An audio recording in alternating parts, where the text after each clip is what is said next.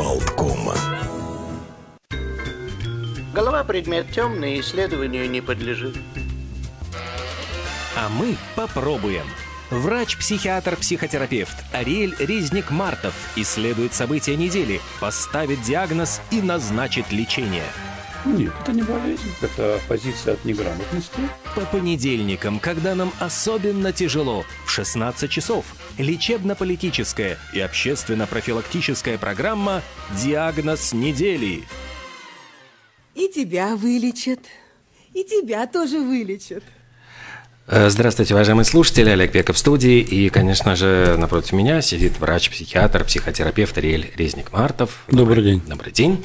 Э, мы, как всегда, встречаемся по понедельникам, когда начинается новый цикл недели. Может быть, у кого-то это вызывает ощущение дежавю. Вот э, буквально выходные пролетели, совершенно не заметив их. И снова рабочая неделя. Мы, как белки в колесе, крутимся и повторяем этот еженедельный цикл, а потом еще и ежегодный кажется, что и жизнь проходит, и все как бы повторяется ночь э, фонарь аптека.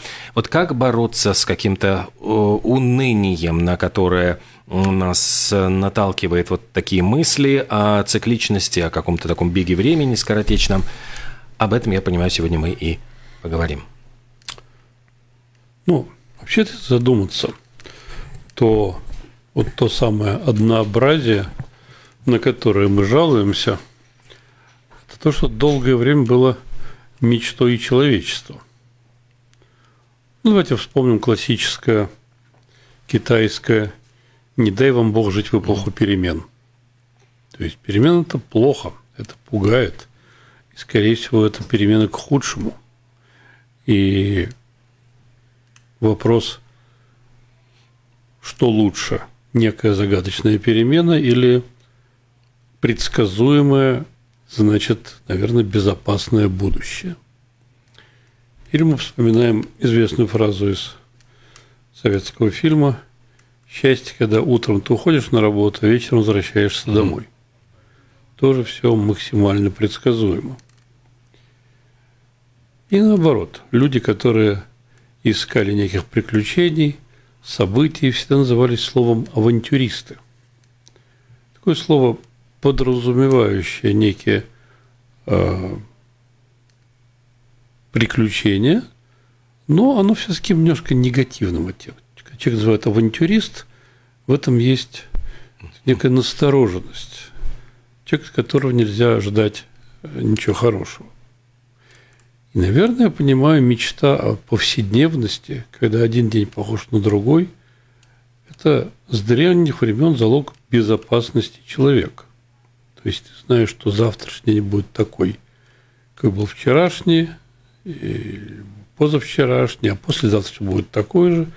В этом есть определенная безопасность, прогнозируемость. То есть, если ты живешь в каком-то городе или деревне, это значит, что на твой город не обрушится эпидемия, нашествие захватчиков, не обрушится голод, еще какое-нибудь стихийное бедствие. То есть с этим как-то спокойно. И более того, вот любой человек, который регулярно ездит, допустим, на работу по одному и тому же маршруту, независимо, ездит он в машине или ездит он в троллейбусе, нынче едет на велосипеде – я думаю, что все замечали, что если ты едешь по привычному маршруту, то у тебя какой-то кусок выпадает. Ты впадаешь в определенный транс, и это касается и водителей машин в том числе. Глаза привычно фиксируют дорожные знаки и светофоры, а мысли где-то в другом месте. Ты едешь, ты о чем-то думаешь, и не успел уже оглянуться, как ты приехал на работу и также примерно э, дорога назад. Кстати, многие люди замечают, что есть какое-нибудь дальнее путешествие на машине, ну, ну, много часов ехать куда-то, потом обратно. Обратная дорога всегда кажется короче. Mm. Потому что тоже она уже тоже предсказуема, она уже понятна. И не едешь из принципа объездными путями. И вот это, я думаю, это старый, старый защитный механизм. У программистов, по-моему, тоже есть такая присказка, если программа работает, не надо в ней ничего менять. Работает и работает. А если есть, ну это вот, не буди лихо, пока оно тихо, классическое. То есть, если есть предсказуемость, это, очевидно, синоним слова «безопасность». Это синоним слова «безопасность», то, за что мы держимся изо всех сил. Но обратная сторона всего этого – это бесконечные, вот то, что слышишь от многих людей, как-то скучно. И жизнь проходит скучно. И день вроде начался, а уже закончился. И однообразие окружающего, с одной стороны, наверное, да, а с другой стороны, если мы присмотримся, ведь тоже создана нами иллюзия. Вокруг нас меняющийся город, вокруг нас меняющиеся люди. Может, почему не значит, что одни люди меняются на других, а значит то, что даже люди, которых мы видим постоянно, они меняются. Просто мы этого не замечаем. Что, видимо, каждый, знаете, говорят, чужие дети растут намного быстрее. А... Да. да, буквально просто вот я вчера читал один из рассказов Агаты Кристи. Это ну, какой-то цикл э, рассказов про э, человека, который решает другие проблемы. Это не Пуаро, не мисс Марпл. И вот там как раз э, история человека, который приходит жаловаться на то, что ему жутко скучно жить. И э, вот ему организуют, его просто просят перевести один чемоданчик из одного пункта в другой, и перевозя этот чемоданчик, он даже не знает, что на самом деле он перевозит какие-то секретные документы, за ним начинаются какие-то погони, убийства, там, э, страсти, мордасти. И вот это вот переживание вдруг наполняет его жизнь каким-то смыслом. То есть вдруг он понимает, что он эм, ради чего там вот он живет, и он получает жуткое моральное удовлетворение. И уже может вернуться опять к жене, к детям, вот к этой скучной жизни, зная, что у него был какой-то момент счастья, вот какого-то вот важного задания и дела. То это есть вот... это скорее не счастье, это может какой-то обосмысленность. Ну, но это приносило ему удовлетворение, потому что вот он очень страдал от того, что его жизнь, казалось, не имела смысла. И вот таким образом вот по мнению Агаты Кристи, можно было наполнить э, его жизнь, окунув его в мир шпионажа, каких-то там заговоров и опасностей. Ну, ведь масса историй. Начнем вдруг ходить за примерами. Давайте вспомним знаменитую книжку про Хоббита. Хоббит, который живет в своем домике, курит трубку, вкусно ест, тут к нему приходят приключения, за ним приходят гномы – и волшебник, и его, вопреки всем его протестам, выдирают из уютной норки и повседневности, он отправляется в это странствие и возвращается уже совершенно другим человеком. И как дальнейшая трилогия «Властелин колец» – это тоже история становится совершенно другой. Вдруг маленький человек становится чем-то, от чего зависит судьба всего мира. Другой удивительный пример, ведь э, есть страна, где просто происходила селекция по этому принципу, я имею в виду э, Северную Америку, куда люди отправлялись, ну то есть вот э, кто-то даже вот, вот говорил, что это интересный факт, что ведь для того, чтобы э, переехать на другой континент, начать жизнь с нуля, бросить все, может быть даже всех своих родных, с которыми ты больше не увидишься, это нужно обладать определенным ну, складом характера. И вот американский континент заселяли э, действительно люди с каким-то вот определенным вот определенными чертами характера. Происходила селекция вот этих людей, и это были действительно вот ну, население Соединенных Штатов вот было каким-то особенным из-за этого. Я думаю, что авантюристов было не так много. Ну, кого-то авантюристы были те самые Э, конкистадоры. Да.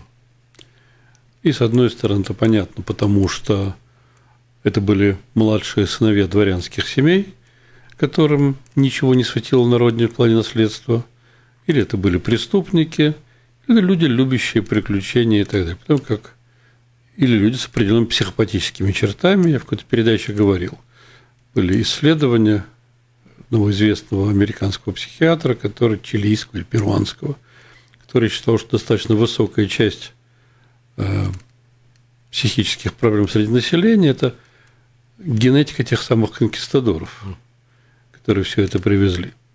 Иногда люди, ну, чаще всего люди меняют свою определенность не от хорошей жизни. Ведь в той же Америке огромная ирландская иммиграция началась с голода, когда вымерло, умерло огромное количество ирландцев, люди просто ринулись спасаться. Вообще все, все, что мы посмотрим, знаменитое великое переселение народов, это все происходило не от хорошей жизни. Люди держались за постоянную безопасную жизнь. Пусть она была очень однообразной, но люди за нее очень держатся. То есть все перемены не от хорошей жизни. Наша жизнь нынешняя, при всем вот всей истории с ковидом, который принес нам столько всего нового, увы, начиная от самой болезни и кончая бесконечными битвами, массовыми протестами по этому поводу. Но ведь тоже нет хорошей жизни перемен. Тоже проис- происходит что-то иное. А каков еще побочный эффект однообразия? Я очень часто видел среди своих пациентов с зависимостями а, людей, которые говорят, а, ну, есть работа, есть дом, работы очень много, дома тоже всегда есть чем заняться, а что еще делать? То есть на помощь приходит обычный или алкоголь, или какие-нибудь другие зависимости более экзотичные. Но это опять неизбежно. Люди осознанно или бессознательно начинают выламываться из предсказуемости. Это, наверное, не авантюризм уйти в запой или начать регулярно пить алкоголь, но это тоже своеобразный вызов повседневности, своеобразный вызов этому однообразию. А, И, наверное, мы все с однообразием боремся, как умеем. Наверное, одна из самых противных черт однообразия, вот то, о чем вы говорили, это отсутствие смысла. Мы перестаем ощущать смысл в том, что мы делаем. Люди ходят на работу, более или менее любимую, а очень часто терпимую. Хотелось бы что-то поменять, но очень сложно. А Люди видят изо дня в день своих близких, и эта серость обыденности тоже, что называется, замыливает глаз. Нам звонят? Нет, я, я слежу, но на всякий случай я напоминаю телефоны 67212 93 9, 67213 93 9. Если есть чем поделиться, вы можете позвонить. Да, и вот действительно, ведь это какой-то ритуал, там, когда человек встает, э, у него утро расписано какими-то вот э, ест на завтрак одно и то же, там, я не знаю, может быть, хлопья с молоком, вот он или тост делает, э, целует жену в щеку, садится в машину, едет на работу, то есть это как будто бы вот, ну, происходит вот изо дня в день и вызывает какое-то ощущение, что, боже мой, неужели так вся жизнь пройдет и ничего не изменится? Некоторые, дай бог, чтобы не изменилось, а некоторые говорят, что это ужасно.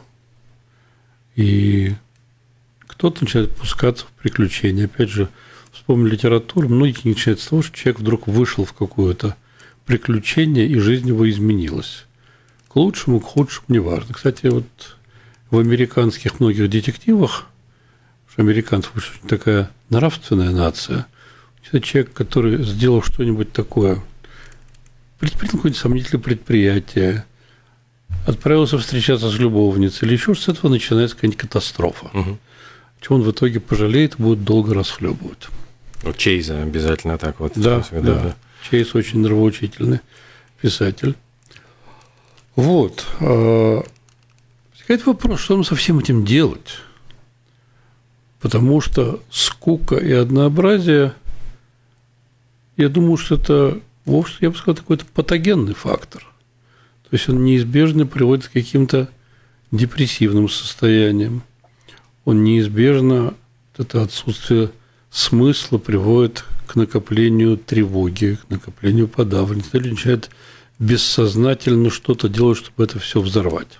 Вот был прекрасный фильм «С меня хватит» э, с Майклом Дугласом в главной роли, где он играет обеспеченного, в общем-то, человека, который живет тоже в таком э, ритме жизни, и попав однажды в пробку, это вот как спусковой крючок, он вдруг бросает свою дорогую машину, э, разбивает там, по-моему, стек... в общем, он начинает вести себя совершенно неадекватно, то есть он э, сходит с катушек и ну, это такой вот триллер, понятно, что там все очень э, гипертрофировано, все какие-то его и черты. Это, по-моему, фильм с Майклом Дугласом. Да-да-да, с Майклом Дугласом. Да-да, «С меня хватит» С меня хватит, да.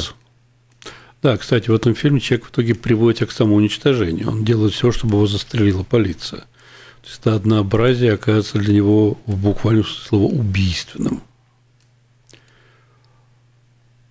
Ну, как люди всю жизнь боролись с однообразием? Во-первых, с древних времен люди знали, что одно из лекарств однообразия – это праздники. Пусть даже записанный в повседневный календарь. Звонок? Да, у нас звонок. Здравствуйте. Добрый день. Добрый. Есть два ответа для таких состояний а, по поводу жизни сурка. Ну, день сурка, да, помню тоже. Угу. Да. А, первый ответ – это родить четырех детей. Ни один день не будет похож на предыдущий и на следующий. А, проверено на себе. А второй ответ – переехать в Латвию. Ни один день сегодняшний не будет похож на завтрашний. И все, жизнь удастся, будет счастье. Спасибо. Наверное, мы живем в разных Латвиях. Угу. Я думаю, что в этом плане мало отличается от других стран. А насчет четверых детей я с одной стороны с вами согласен. Дети – это буквально воплощение любви и очень много радости. Но дети, увы, тоже становятся для многих частью повседневности. Встать, разбудить, завтрак, отвезти в школу или в садик, забрать из школы или из садик, проследить за уроками и так далее, и так далее. И это, к этому мы еще вернемся, хорошо, что об этом упомянули, потому что мы ухитряемся даже из любимых людей – сделать зачастую скучную повседневность. Вот это вот повторяющаяся за дня в день история. Так вот, вернемся. Праздник. Мы же знаем происхождение слова «карнавал». Оно было обычно перед Великим постом. Карневаль, в буквальном переводе «прощай мясо». Сначала мы поста люди устроили себе великий праздник. Карнавал – с масками, с э, различными приключениями. Ношение маски многое позволяло, потому что я в маске, это уже кто-то совершенно другой, который может себе позволить что-то, и завтра никто не узнает, что это был я.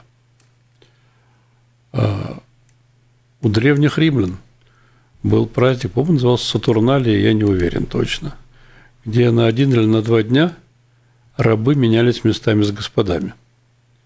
Где рабы вели себя как господа, они садились за столы, им прислуживали их господа и так далее. Наверное, тоже в этом был глубокий смысл, чтобы никто не воспринимал свой статус как нечто неизменное на всю жизнь. Что даже раб мог в какую-то минуту почувствовать себя свободным и, более того, богатым и управляющим кем-то – и даже процветающий человек мог время ощутить себя рабом, почувствовать, что его жизнь раз и поменялась. Вот, наверное, эта перезагрузка чем-то была необходима. Ну, вот не, все древние обычаи абсолютно не случайны. И я думаю, что это к ним относится.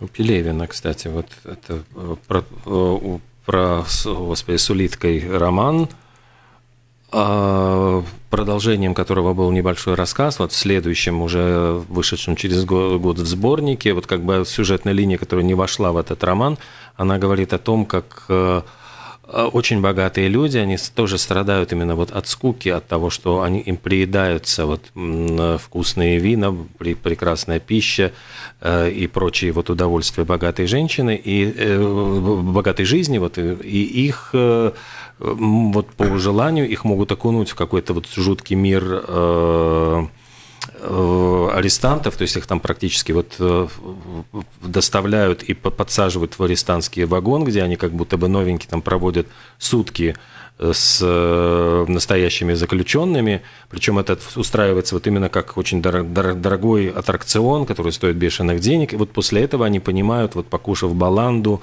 там пообщавшись с другими людьми, вот гораздо ниже социального статуса, для них обычное э, вино, обычные даже удовольствия начинают доставлять невероятное наслаждение. Тоже работает. Я знаю, что некоторые где-то, по-моему, в Корее или где-то покупали места просто в тюрьме. Причем не сидели с э, обычными заключенными, просто несколько дней в камере, чтобы почувствовать разницу. А чем основная беда вот этого повседневности и однообразия? Это все-таки, наверное, однообразие или иллюзия, или то, что мы сами себе создаем в тех самых защитных свойствах. Потому что мы живем в меняющемся мире. Он меняется не всегда так, как мы захотим. В этих переменах содержится привкус и тревоги, и страха, и неуверенности в чем-то. Любимая фраза это была чувство уверенности в завтрашнем угу. дне. Что в нем уверен, надо знать, что он будет похож на сегодняшний, скорее всего, или лучше. Вот что эта уверенность дает? Только повторяемость. Только повторяемость одинаково дает чувство уверенности.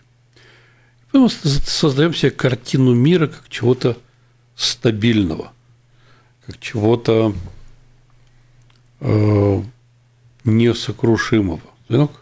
Да, у нас еще один звонок. Здравствуйте. Добрый день. Добрый. Здравствуйте. Э, да, по поводу Дня сурка вы разговариваете, правильно? Ну, частично. О повторяемости мира и об, об однообразии однообразие. Я, знаете, недавно смотрел фильм, довольно интересная идея. Мне показалось, что мы сюда, в этот мир попадаем, сами себя направляя, потому что в том мире мы э, устали, перестали ценить то, что мы имеем. То есть, э, если человек потерял мотивацию быть богатым, его отправляют в этот мир, в этот физический мир, чтобы он почувствовал себя богатым и понял, что он хочет к этому стремиться. А если ты, например, богатый, как в том главный герой был в фильме, то из богатого мира его отправляют в бедный мир, в наш, чтобы он начал ценить то, что имеет. Просто мне идея очень понравилась, я решил поделиться с вами. Спасибо. Все заманчивая идея с другими мирами, с, с новыми жизнями, с перерождениями. На связано сулит, даже если эта жизнь Э, однообразно или неприятно нам сулит какую-то возможность на перемену в будущем, но уже после смерти. А эту жизнь мы проживаем однообразно. Так вот, эта иллюзия стабильности мира, э, стабильности мира, в котором ничего не меняется, с этим прекрасно умели справляться люди восточные, в частности, японцы – вот кто прекрасно научился э, находить противоядие против этого. И я, кстати, некоторые э, вещи из этих японских э, японского отношения к жизни взял на вооружение. Это очень помогает. У них еще во времена где-то века 9 10 вот такая у них эпоха Хэйян, очень изысканный, утонченный период философии, живописи, расцвета литературы и так далее. И вот уже тогда появилось ощущение текучести этого мира, его зыбкости, его ненадежности. И аристократы хайянской эпохи изобрели такой термин «аваре» или «мононоаваре». Аваре – это изначально возглас, который вроде «ах», который издавали, когда чем-то восхищались. А потом Авара стала таким образом квинтэссенцией вот этого э, хрупкости момента, который сейчас наступил и вот-вот исчезнет. И, как хорошо сформулировал один японист, авара – это когда ты понимаешь, что этот миг очень скоротечен, что он сейчас наступил, вот-вот исчезнет и больше никогда не повторится, поэтому он особенно драгоценен. И вообще это иллюзия. Да и этот миг сам по себе иллюзорен. Вот это ощущение, оно может быть печальным, ощущение того уходящего времени. Оно может быть э,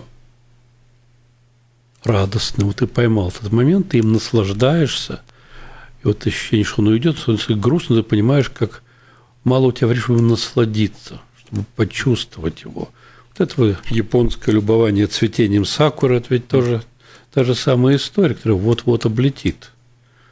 И а. у тебя очень короткое время на это любование.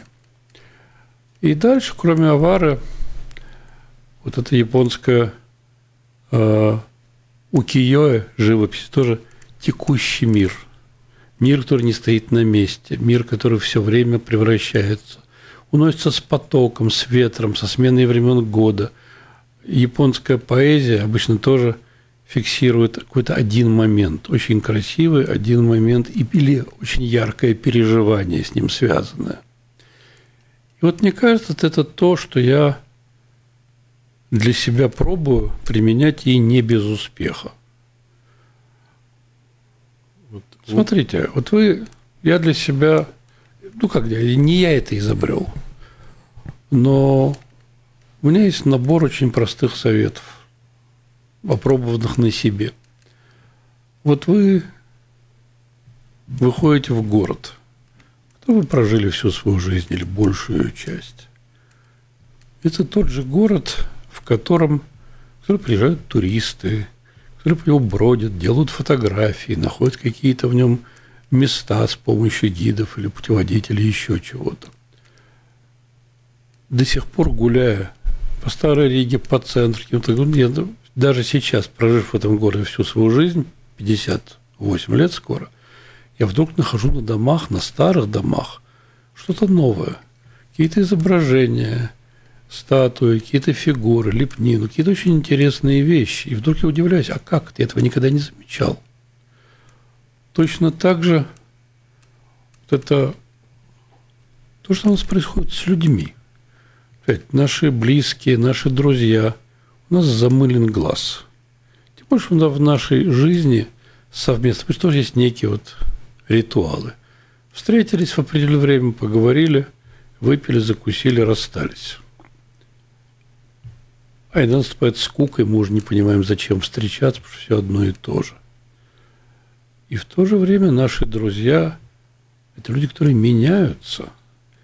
И более того, как ни странно и как ни печально, они тоже в любой момент могут исчезнуть.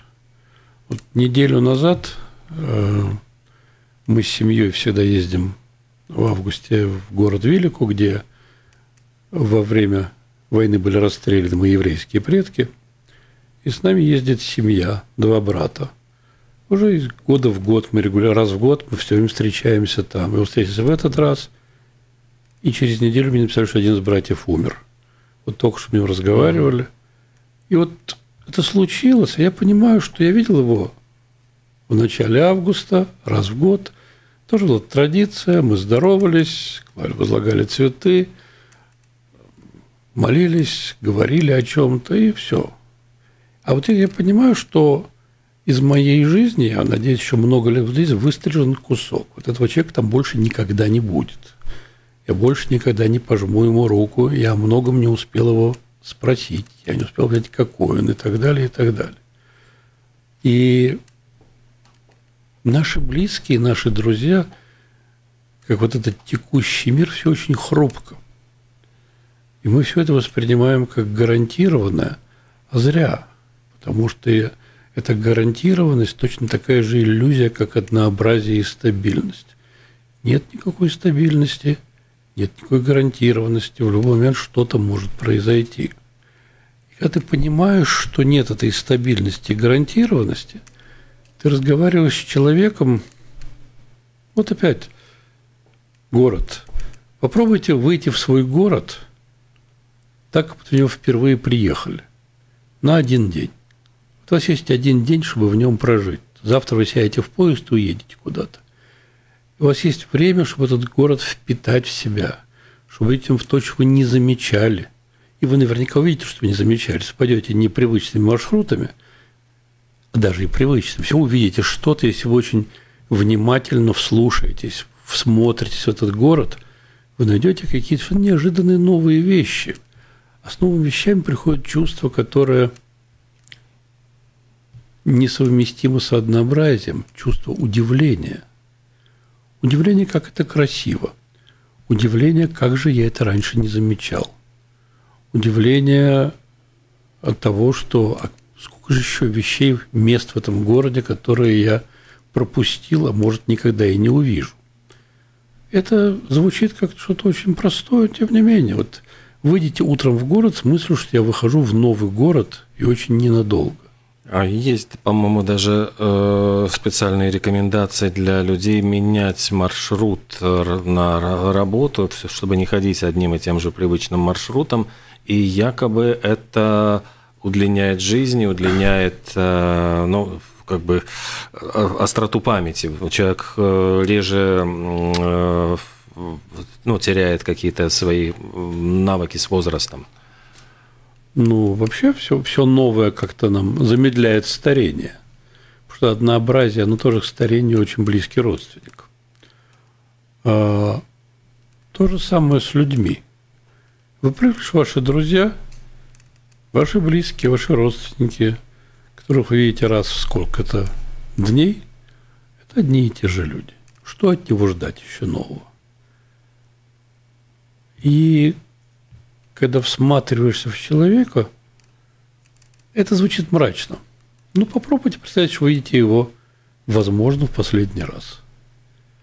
Попробуйте представить, что вы, возможно, не знаю, разъедетесь или что-то случится. Каждый Может, раз на, навек прощаетесь, да, да когда да, прощаетесь. И вы больше никогда не увидитесь. Попробуйте выйти в ваших разговорах за пределы этой унылой стабильности. Попробуйте говорить о том, о чем никогда не говорили. Кстати, вот в силу этой... Что обычно происходит, когда кто-то умирает? Почти все говорят, не успел сказать, не успел поговорить. Что-то не успел, что-то осталось не прозвучавшим, не высказанным. Нам всегда как-то неловко приставать к людям, даже к знакомым, с лишними рассказами о себе – классическая формулировка, зачем нам грузить кого-то своими проблемами. Или с расспросами, что я буду лезть, захочет, сам расскажет, и так далее, и так далее. Ну вот, не всегда не работает, не всегда это работает. Если мы за годы не успеваем ни спросить, ни рассказать, и что-то остается не прозвучавшим, что-то остается где-то в запасе. Как в музее есть запасники, там есть прекрасная вещь, которую туда годами никто не достает – в отношениях тоже есть запасники, и в людях есть запас, которые никто годами не достает, которые уходят мимо нас. Наверное, уже последний звонок. Здравствуйте.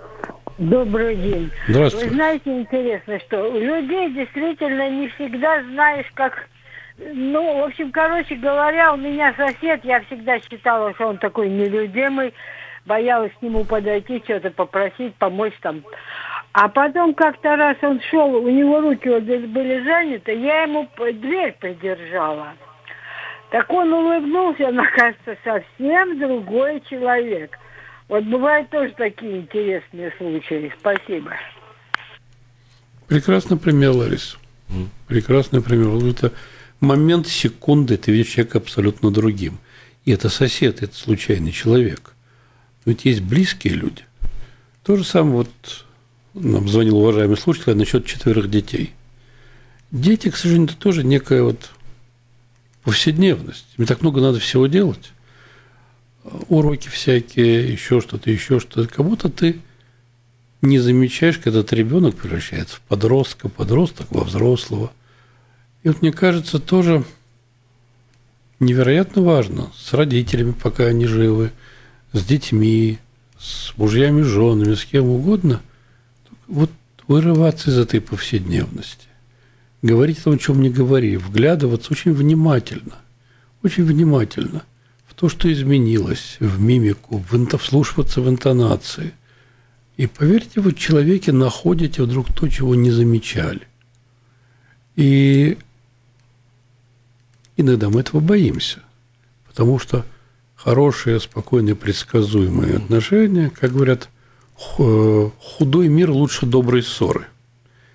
И даже добрая ссора хуже, лучше худого мира, потому что он худой, потому что он плохой, спокойный, унылый и так далее. И вот эта встряска, по-новому взглянуть на города, на людей, на собственный дом, э, на себя. На самом деле, вот этот источник однообразия мы сами. И, наверное, с себя стоит начинать. Вот удивить себя, найти себе что-то новое. Мне очень нравится цитата, возвращаясь к теме японского текучего мира. Он как груз, все уплывает, все исчезает. И сказал вот японский писатель, да, мы уплывем, но весело, как тыква, подскакивающая на речных волнах и уносимая течением вдаль. Вот это ощущение, что скоротечность, хрупкость, неповторяемость э, жизни за дня в день, в этом есть столько прелести, которые мы или из лени, или из чувства безопасности не впускаем в свою жизнь. Я сегодня хотел бы всем пожелать, хоть сегодня, хоть через час, хоть завтра, начать искать вот то самое неожиданное, забытое, незамеченное в себе, в людях, в городе. Спасибо большое. Ариэль Резник-Мартов, врач-психиатр, психотерапевт. До следующего понедельника. Всего доброго. Радио Болткома.